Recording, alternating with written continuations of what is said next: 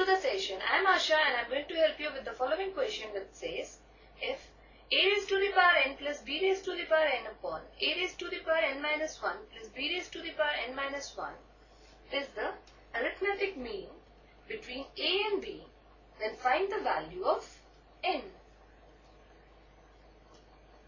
Let us now begin with the solution. Here we are given that arithmetic mean between B is equal to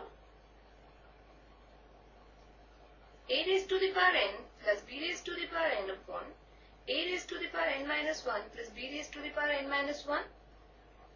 Also, arithmetic mean of A and B is A plus B upon 2. So, this is equal to A raised to the power n plus B raised to the power n upon A raised to the power n minus 1 plus b raised to the power n minus 1. Now on cross multiplying,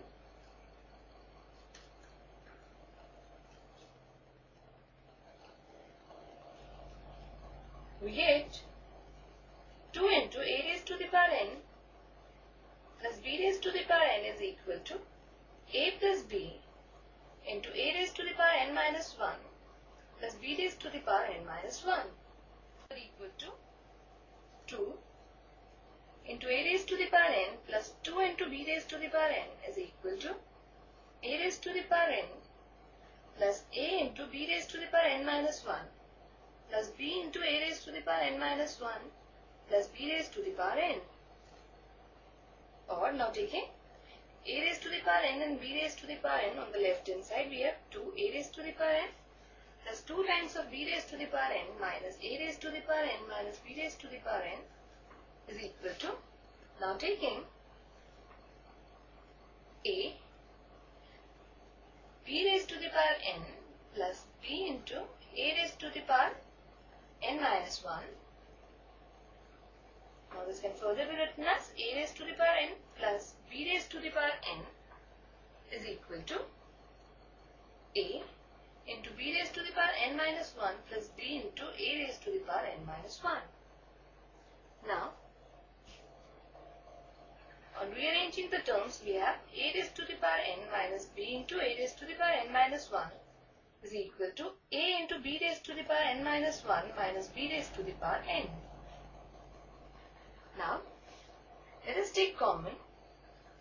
So, from here taking a raised to the power n minus 1 common, we have a minus b.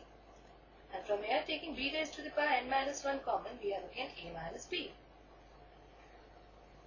Or we can say that a raised to the power n minus 1 minus b raised to the power n minus 1 into a minus b is equal to 0.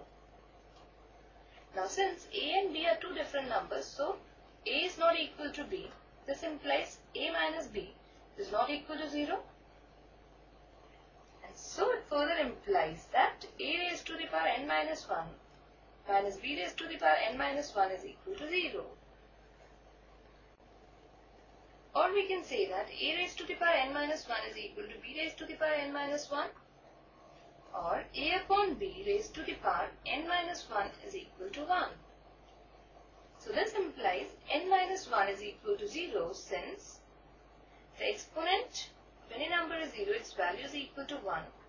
Since here the value is 1 therefore exponent is 0 this implies n is equal to 1. Therefore our answer is value of n is 1. So this completes the solution. Take care and have a good day.